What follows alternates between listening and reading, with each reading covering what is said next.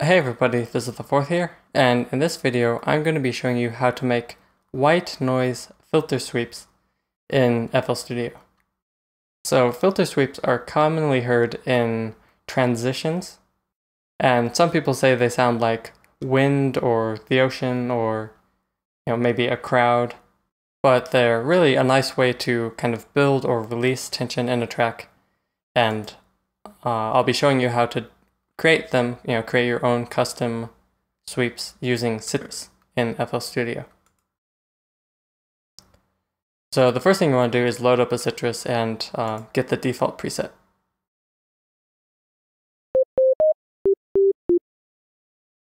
And I'm going to disable operator 1 to the out, and instead I'm going to route operator 1 through um, F1 or filter 1. And then I'll route the filter 1 to the output. And the reason I'm doing this is because I'm going to use the filters inside of Sytrus to create my sweep. Um, if you would prefer to use you know, a different filter plugin and not use Sytrus's filters, then you could just leave the operator one um, going to the output directly. But because I'm going to use the filters, I have it set up like this. So now what I'm going to do is turn on the unison and set it to the order of 2. Uh, you can play around with using you know different values for the unison order, you know, using a different number of voices. Uh, but in my experience, you know, two is kind of what I prefer to use. Uh, and then I'm just going to turn the volume all the way up, uh, the unison volume. And for now, I'm going to leave everything as it is. And then I'm going to go into operator one and turn it into a noise oscillator by increasing the you know, this last fader here, the noise, all the way up to 100%. And now you'll hear that I have a white noise sound uh, because of this, and then it's stereo because of that uni unison.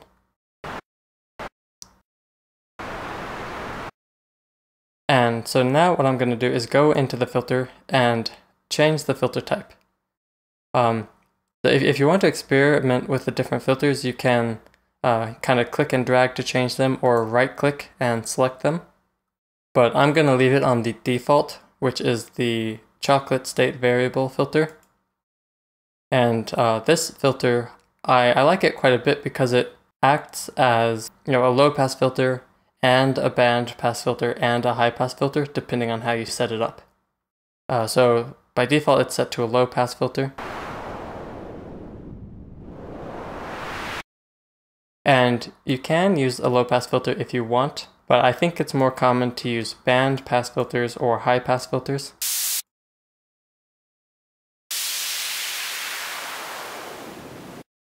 And one thing I'm going to do, I forgot to do it earlier, is back on the main panel, I'm going to turn on the oversampling up to two times. And this will help the filter be a little bit more clean, um, prevent aliasing from those high frequencies.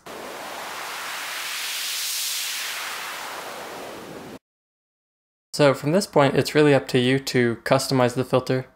Um, you know, if you're not familiar with Sytrus, you can just output the white noise directly and then use your own custom filter that you might be more familiar with.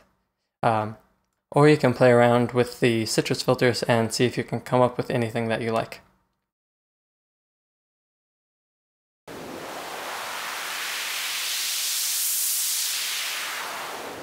So I think I like it just like that.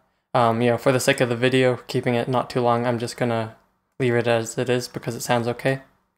Uh, now, at this point, you could use the different envelopes in Sytrus to to create the you know kind of sweep you're looking for. You could enable the cutoff envelope. And I do do this a lot of the time, but sometimes it's easier just to you know create automation clips in the playlist as long as you don't mind using automation clips.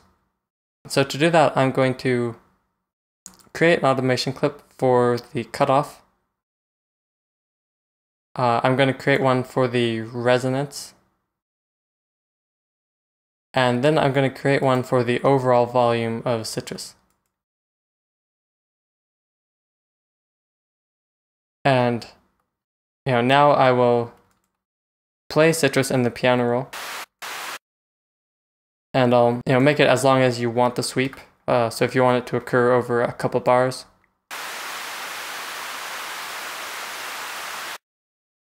uh, you could have it be a couple bars.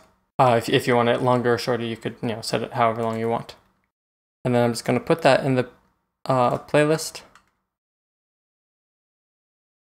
And now I'm going to use the automation clips to you know, create the sweep effect. So if you want a sweep going up, you know, you can start low and then go high.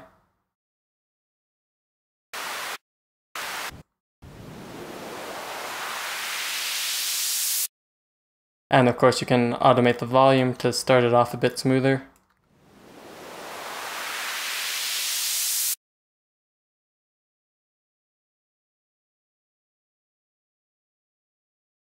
You could have the resonance be higher uh, for the lower frequencies.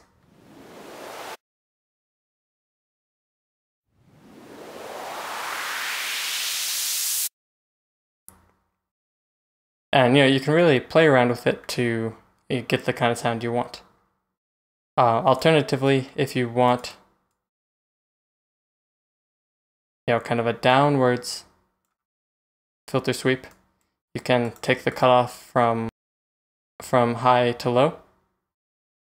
And you know, you, you still might want to fade in the volume a bit at the beginning.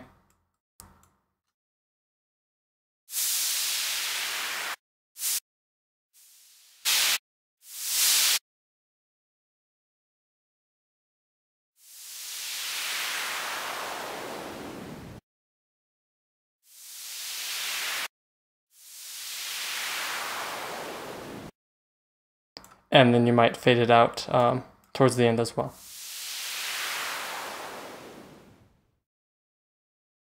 So yeah, that's pretty much it for this video. Hopefully that was helpful. Uh, of course, you can spend a lot more time playing around with it on your own to you know really get some more unique uh, kind of filter sweeps or to you know get it to sound exactly how you want. Uh, I do recommend you know after you do the basics, add some reverb uh, maybe a bit of delay if you want, but definitely reverb. And that just helps it, um, you know, kind of put it in the background of the mix.